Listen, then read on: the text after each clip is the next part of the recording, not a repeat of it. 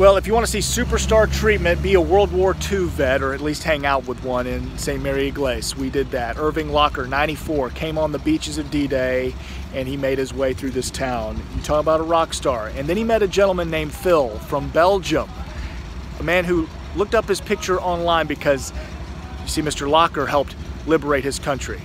Incre incredible tribute here. Take a look. And this one, please.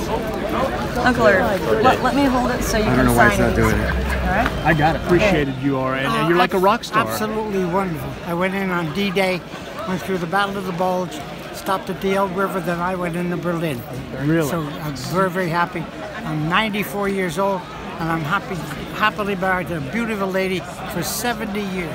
Unbelievable. So- How are you? It makes me very happy. Proud of him? Very proud. I got the best guy in the world. For 70 years, I've had to keep him. I'm sorry, but my English is very very little. But Okay. uh, it's it's an honor for me to to have the, his picture.